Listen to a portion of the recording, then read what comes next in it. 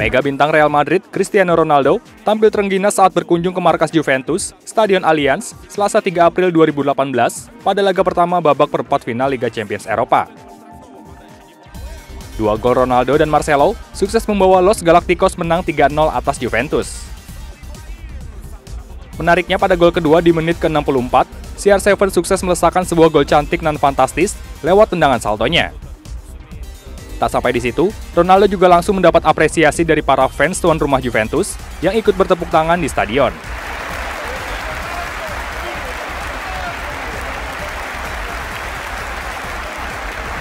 Gol fantastis Ronaldo tak hanya menyihir para Juventini.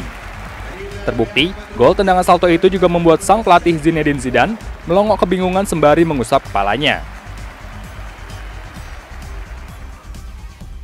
Laga leg kedua bakal digelar di Stadion Santiago Bernabeu pada Kamis 12 April 2018.